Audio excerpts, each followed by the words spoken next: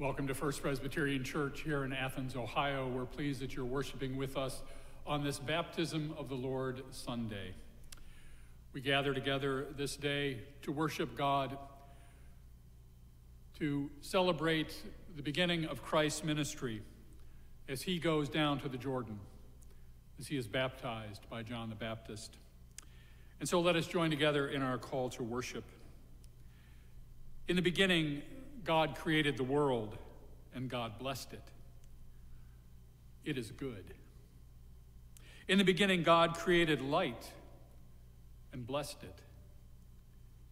It is good. In the beginning, God created life and God blessed it. It is good. Since the beginning, God has not stopped creating, calling us closer to all that is good.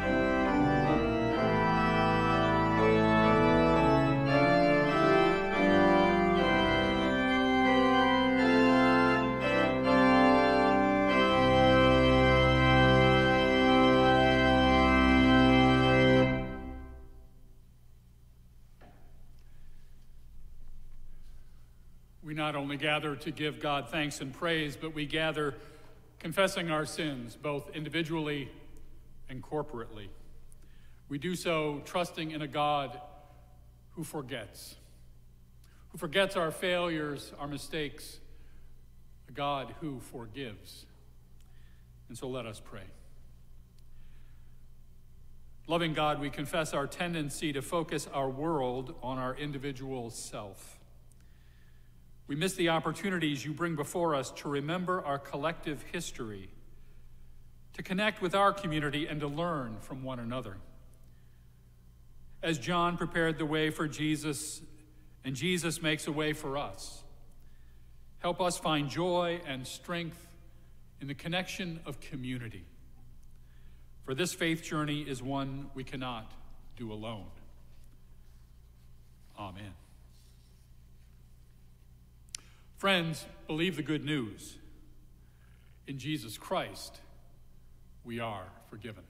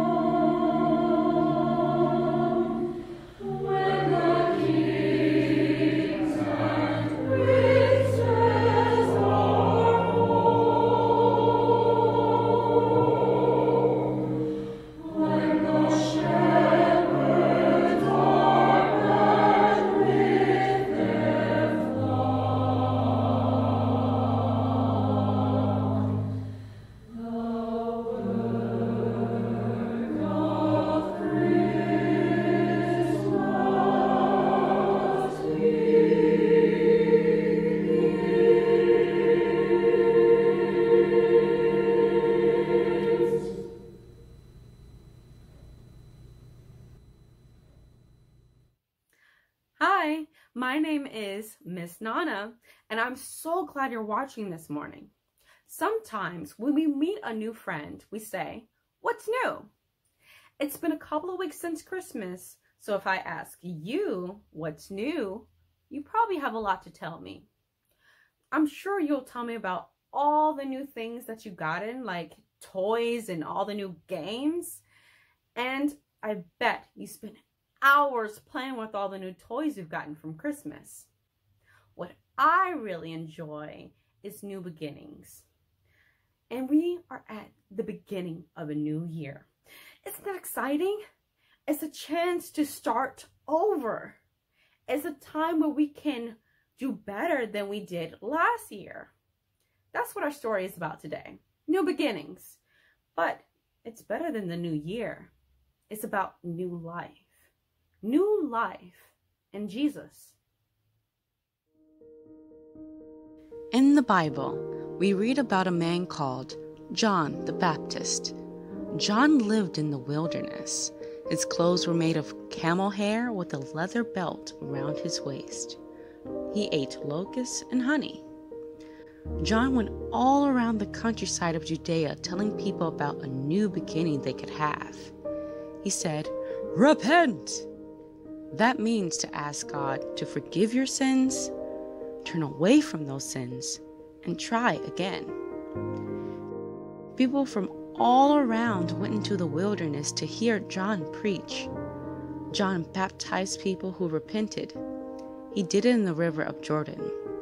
They were baptized to show the world that God had forgiven their sins. This was a new beginning for them. Even Jesus himself went to John the Baptist and was baptized by him. Just as Jesus was coming out of the water, he saw the heaven open up and the Spirit come down on him like a dove. And we still baptize people today. And that's what I call a new beginning. Let's end in prayer. Dear God, thank you for sending us Jesus, the one without sin to wash away our sins. Thank you for this new life and new beginning. In Jesus' name we pray. Amen. And until next time, bye-bye.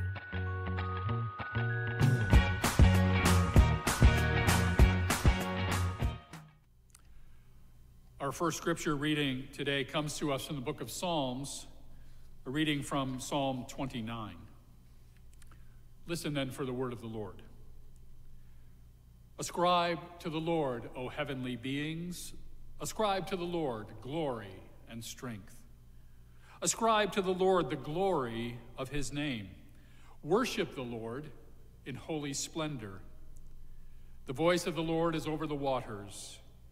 The God of glory thunders, the Lord over mighty waters. The God of glory thunders, the Lord over mighty waters. The voice of the Lord is powerful. The voice of the Lord is full of majesty. The voice of the Lord breaks the cedars. The Lord breaks the cedars of Lebanon. He makes Lebanon skip like a calf, and Sirion like a young wild ox. The voice of the Lord flashes forth flames of fire. The voice of the Lord shakes the wilderness. The Lord shakes the wilderness of Kadesh. The voice of the Lord causes the oaks to whirl and strips the forest bare. And in his temple all say, Glory. The Lord sits enthroned over the flood. The Lord sits enthroned as king forever. May the Lord give strength to his people. May the Lord bless his people with peace. And our final reading today comes to us from the Gospel of Mark, reading in the first chapter, verses 4 to 11. Listen then for the word of the Lord. John the Baptizer appeared in the wilderness, proclaiming a baptism for the repentance and the forgiveness of sins. And people from the whole Judean countryside and all the people of Jerusalem were going out to him. and were baptized by him in the river Jordan, confessing their sins. Now, John was clothed with camel's hair, with a leather belt around his waist, and he ate locusts and wild honey. He proclaimed, The one who is more powerful than I is coming after me. I am not worthy to stoop down and untie the thong of his sandals. I have baptized you with water, but he will baptize you with the Holy Spirit. In those days, Jesus came from Nazareth of Galilee and was baptized by John in the Jordan. And just as he was coming up out of the water, he saw the heavens torn apart and the Spirit descending like a dove on him. And a voice came from heaven You are my Son, the beloved. With you I am well pleased. May God add understanding to these readings from God's holy word. This is the word of the Lord.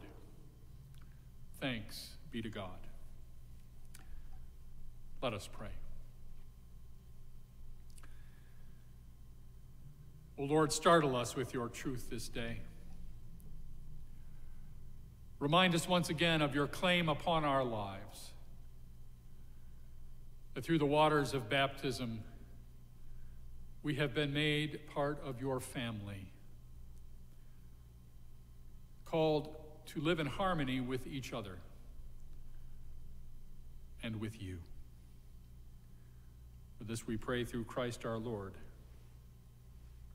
Amen. If I asked you to describe the sacrament of baptism, what adjectives might you use? Beautiful, solemn, ancient, holy?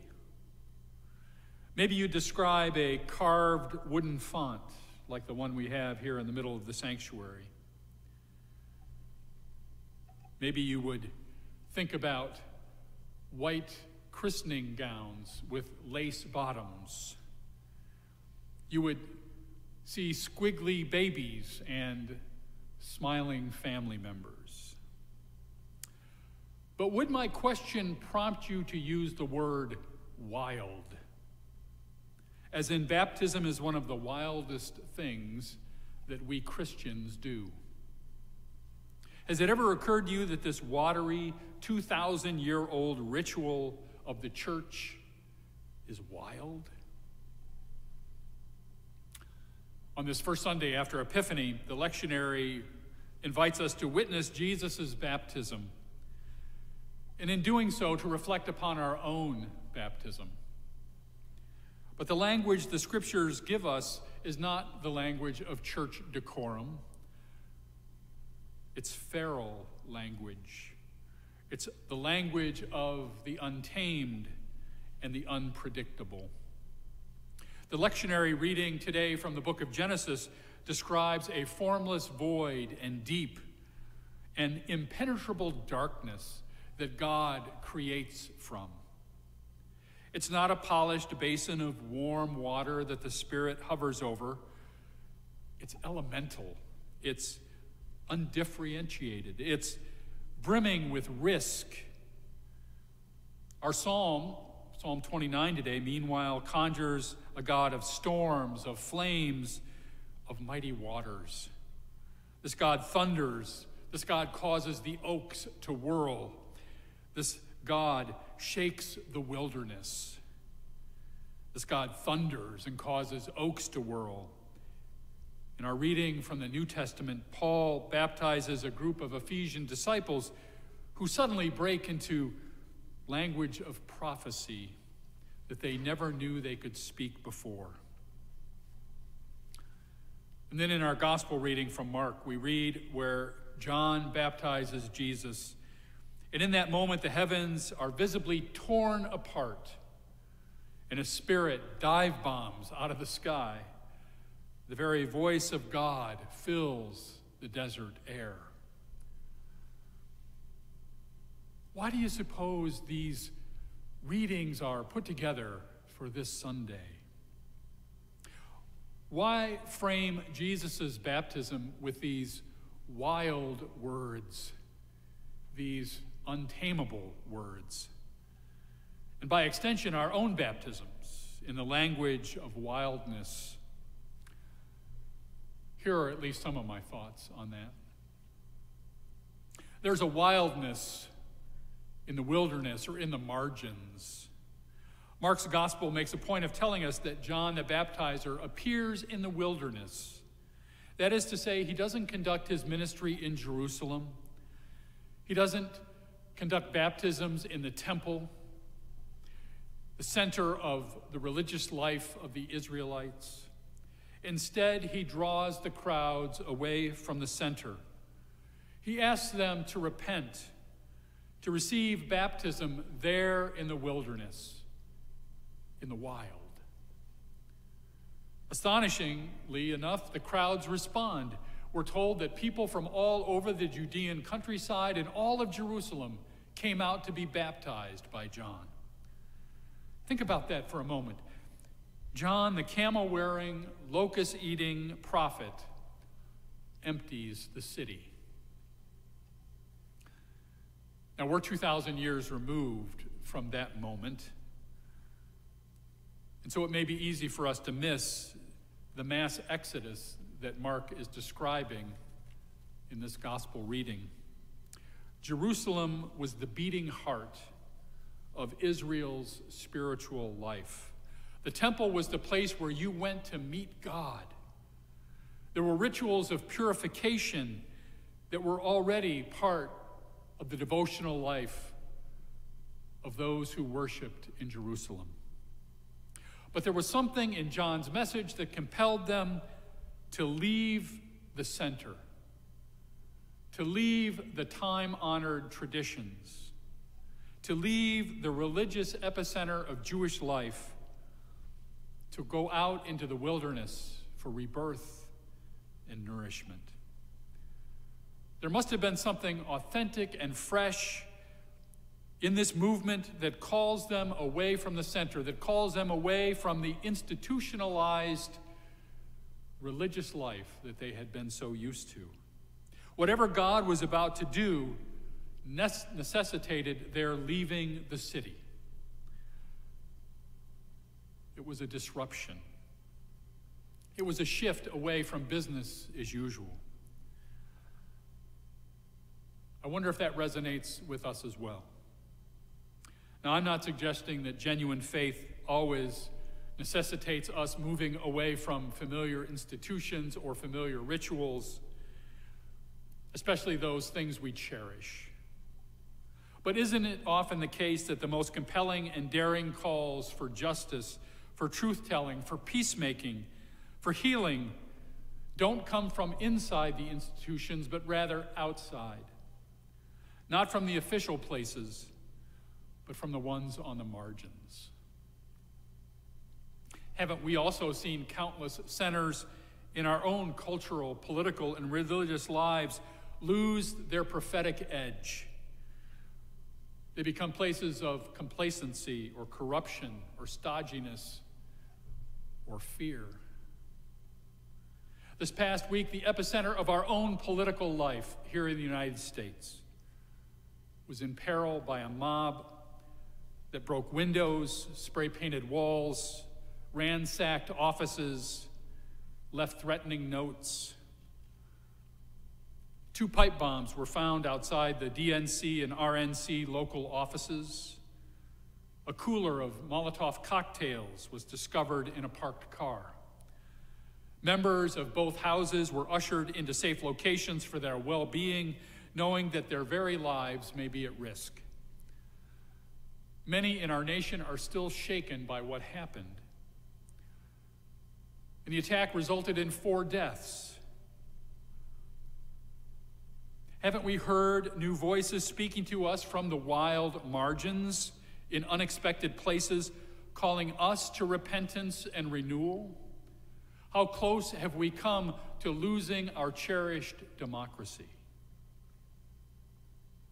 I think there's a reason that Jesus is baptized in a wild place.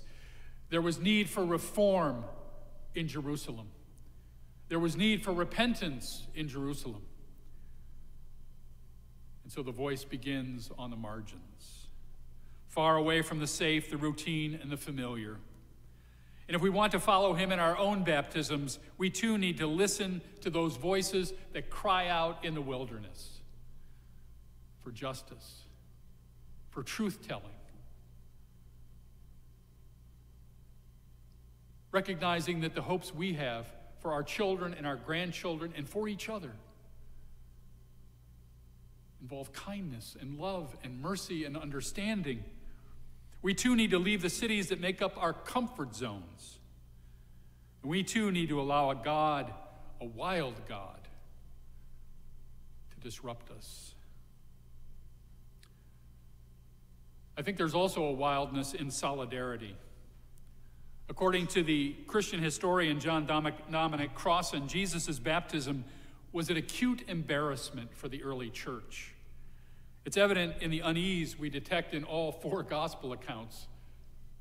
Mark keeps his version of the story as sparse as possible. Matthew insists that John tried hard to dissuade Jesus from even being baptized. Luke skips the identity of the baptizer altogether, and the fourth gospel doesn't even mention Jesus' baptism. And apparently, what scandalized the early church was Jesus' decision to receive a baptism of repentance. Repentance for what? Wasn't the Son of God perfect, sinless, holy? What was the Messiah do- doing in the murky waters of the Jordan? What was the Messiah doing aligning himself with all those sinners that had come down to the river's edge? Why did God choose that moment to call Jesus the beloved? Why indeed?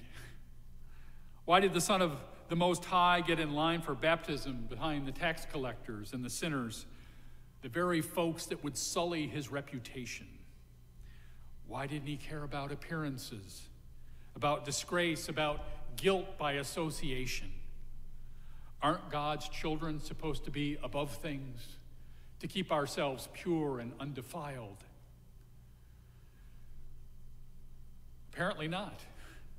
Because Jesus' first public act is an act of radical solidarity with all those that stood at the river's edge, an act of stepping into the shameful relationship with sinful humanity. Instead of holding himself apart, instead of protecting his own purity, Jesus steps into the same water we step in. And he wedded his reputation to our reputation, his destiny to our destiny.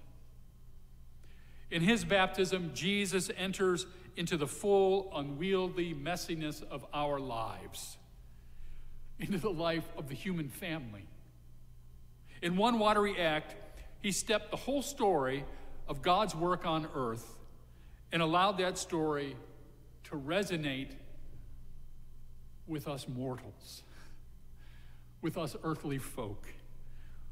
And in our baptism, we vow to do the same. In the wild waters of our own immersion, the own, our own sprinkling of water on our heads, we join our being to all beings, regardless of political affiliation, race, gender, nationality, sexual orientation. We throw our lot in with everybody. And if this doesn't startle us, maybe it should. To embrace Christ's baptism is to embrace the wild truth that we are united. That the voices of those that would separate us are the voices of untruth that we are connected to one another.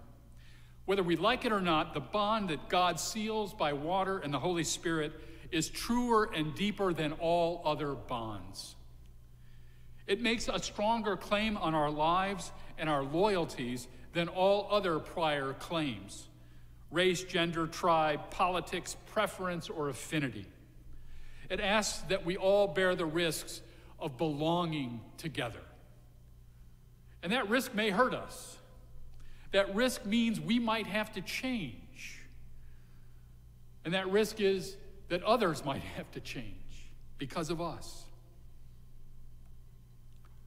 It's not easy to honor that kind of staggering claim, but we don't have a choice. Has the church always done this well? No. But that's not because God's claim was somehow optional. Maybe it's because we've tamed baptism. We've turned it into something perhaps merely ritualistic. And the truth is, we cannot have the waters of baptism without the connectedness one to another. We cannot have water without kinship. We can't receive the sacrament without giving up our separateness. It doesn't matter one bit if we're non joiners by temperament, because the very act of baptism is an act of belonging.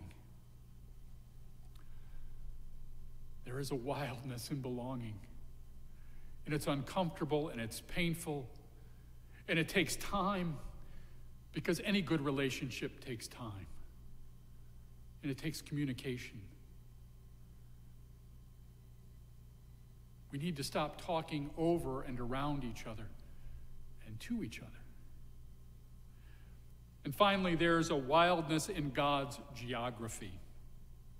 In a beautiful essay called Holy Water Everywhere, the Christian Century editor Steve Thorngate describes baptism as a sacrament that straddles both the locative and the liberative. We are baptized locally in a specific time and a specific place into the spiritual life of a particular community. It is one of my favorite parts of the baptismal liturgy when the entire congregation promises to tell that newly baptized the good news of Jesus Christ. And so it goes against a cerebral, otherworldly abstraction for the sacrament. It says, no, here in this place, in this time, you were baptized. And those that were witness to that have promised to tell you the good news of Jesus Christ. Baptism insists that this place here, this ground here, the water in this basin is holy. Now, at the same time that it's local, it's connected to this place, it also liberates us into the global, the universal, the timeless. The water of baptism is connected to all the bodies of water everywhere, which means we cannot contain or constrict the sacred within the walls of this church, within the walls of any denomination or dogma or practice. Baptism, Thorngate writes, creates its own map. It is not the local map that stresses boundaries and the dangerous unknown that lies beyond them, nor is it the globe that erases everything particular, small, and nearby. And I think it's why the lectionary this Sunday gives us all four of these stories Genesis and the Psalm and Paul's letter to remind us of God's overwhelming power over nature and a story with the early church and Jesus' baptism. Because when he consents to be baptized in the Jordan River, he consents, consents both to the location but also to the universal. He enters into a holy geography that includes the unformed waters of creation, the storied landscape of his poet ancestor David, and every font, pool, lake, river, and ocean of his followers from Paul onward. The Spirit who hovered over the unformed earth at the dawn of creation is the same Spirit that comes down to Jesus on the day of his baptism. It is the same Spirit that hovers over all of us today. The Lord who thundered over the mighty waters, who sat enthroned then, sits enthroned now. The God who loosened the tongues of those first century believers to speak the truth is the same God who raises up prophets today. In other words, the geography of baptism is vast. It spans all time and all places. It is far too large and far too wild a thing for us to tame or control. During this time between Christmas and Lent, we are invited to leave the miraculous births, the angel choirs behind, And we are invited to seek the love, majesty, and power of God in the ordinary things of life rivers and voices and doves and clouds. Holy hands that cover ours, inviting us into the baptism of repentance and new life. And in the gospel stories that we'll read this season, God will part the curtain for brief, shimmering moments and allow us to look beneath and beyond the ordinary surfaces of our own lives and catch a glimpse of the wild and the extraordinary. This is, of course, another way of describing the sacrament of baptism itself a place and a moment where the extraordinary wildness of God's grace blesses the water that washes over us. May we, during this season and always, join Jesus as he stands in line at the water's edge, willing to immerse himself into shame and scandal so that the wild wonder of God might be revealed to us. That God enters the messiness of our lives, whether it's political upheaval, waiting for a test result, a family feud, that God enters into all of that and seeks to redeem it. May we too hear the delighted voice that tells us who we are and whose we are in the sacrament of baptism, even in the wild, untamable water that we stand in. May we know today that all of us, all of us, are God's beloved. Amen.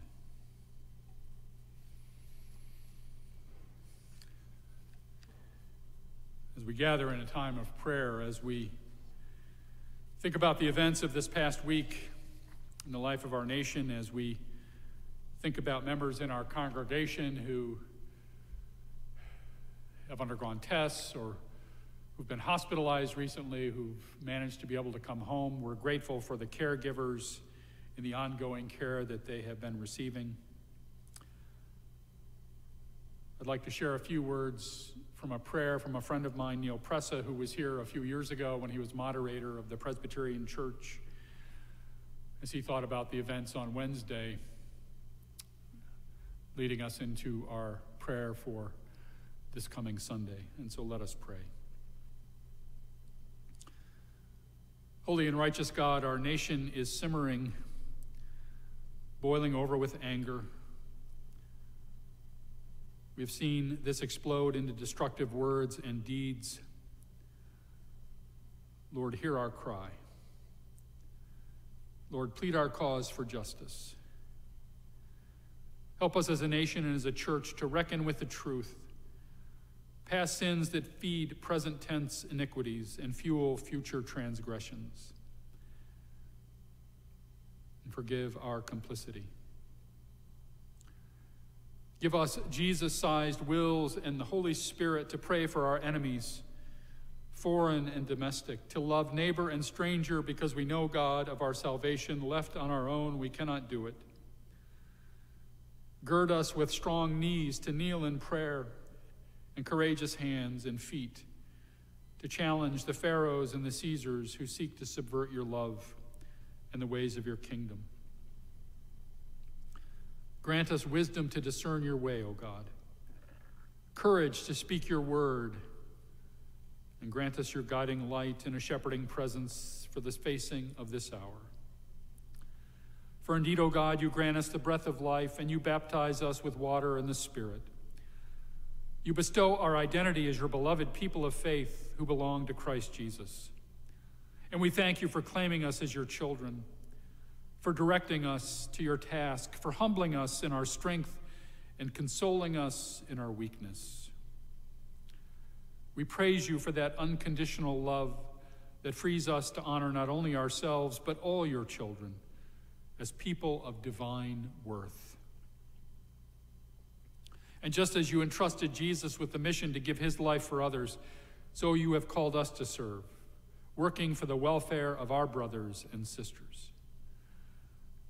Strengthen the efforts of all who seek to aid those who face the daily challenges of health, due to COVID. Be with those first responders, nurses, and doctors, all those who put themselves in harm's way each day. Use us and shape our society, O God, that indeed we may look to a future filled with hope and not give in to the fear that leads to destruction and dismay. Comfort, O God, all who mourn the loss of loved ones this day. All who mourn the loss of those who lost their lives on Wednesday. For your impartiality, God of all, transcends all of our differences. And we pray for your healing and reconciling love wherever alienation, hatred, wherever any of that threatens lives. Guide the political leaders of all nations toward harmony, toward a shaping of the world which especially cares for the most vulnerable. Bring peace and wholeness. For we need your healing in our broken world, O God. And all of this we lift up to you because we know that you care for us. We know this because through your Son, Jesus Christ, you stepped into the rivers of our lives. And you got money with us. And so hear us now as we pray together the prayer that he taught, saying together, Our Father, who art in heaven, hallowed be thy name. Thy kingdom come, thy will be done, on earth as it is in heaven. Give us this day our daily bread, and forgive us our debts as we forgive our debtors and lead us not into temptation, but deliver us from evil. For thine is the kingdom, and the power, and the glory forever. Amen.